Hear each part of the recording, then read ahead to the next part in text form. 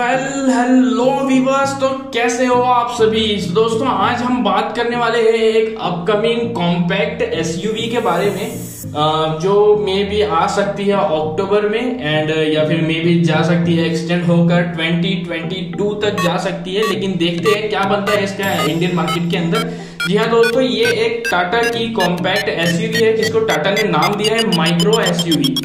जी हाँ दोस्तों जिसका नाम है H B X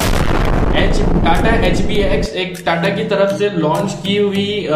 micro SUV है दोस्तों, जिसकी लॉन्च डेट मानी जा रही है अक्टूबर 2021 तक ये मे बी लॉन्च हो सकती है मीन्स नेक्स्ट मंथ तक ये मे बी लॉन्च हो जाए या फिर मे बी एक्सटेंड कर जाए।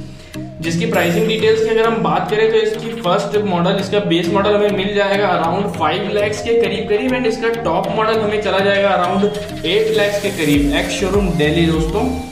एंड इसके अगर पावर ट्रेन की हम बात करें तो पावर ट्रेन में हमें दोस्तों देखने मिल सकता है 1.2 लीटर का फोर सिलेंडर डीजल इंजन सिर्फ़ मैनुअल रहेगी ये गाड़ी एंड इसका जो डीजल इंजन है वो आएगा अराउंड 1200 सीसी एंड जो जनरेट करेगा 114 एनएम का टॉर्क तो दोस्तों, ये था इसके पावर ट्रेन के बारे में कुछ इन्फॉर्मेशन आइए इसके कंपटीशन की बात करते हैं कि ये किस के कंपटीशन में उतर सकती है गाड़ी. तो दोस्तों, यहाँ पे अगर हम बात करें कंपटीशन की तो यहाँ हमें देखने मिल जाएगा महिंद्रा के U V hundred N X T Maruti Ignis इन दोनों के कंपटीशन में हो सकती है टाटा की H B X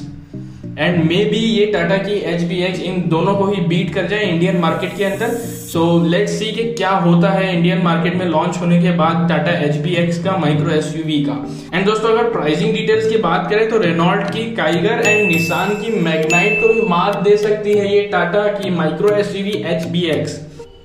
so दोस्तों, देखते हैं क्या बनता है टाटा की H B X micro S U V का इंडियन मार्केट के अंदर। टिल देन आपको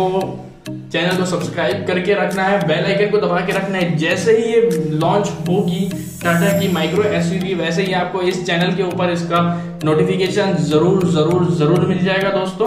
सो so, वीडियो अगर पसंद आया वीडियो को लाइक कीजिए एंड चैनल को सब्सक्राइब कीजिए। एंड कमेंट बॉक्स में बताइए वीडियो कैसा लगा।